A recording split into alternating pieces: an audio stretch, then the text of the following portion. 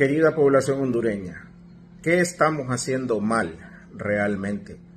Las emergencias rebosan de pacientes por dengue. Ya no nos damos abasto los médicos.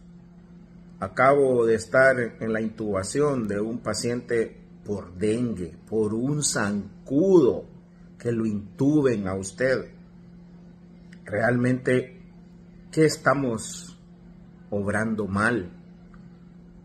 ¿Cuál es la desidia que tiene la población que no quiere eliminar los criaderos?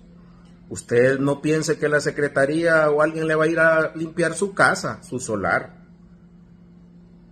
Acá cada quien tiene su responsabilidad y, si bien es cierto, la secretaría también ha, actuado mal porque no han eh, controlado esta epidemia. Hasta ahorita se miran algunos esfuerzos.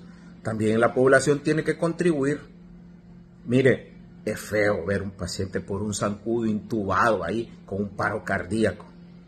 Créame, el dengue nos va a poner de rodillas en octubre, en septiembre, si no hacemos algo.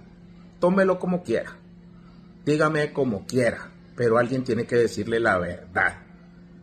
Así son las cosas, alguien les tiene que decir la verdad a ustedes.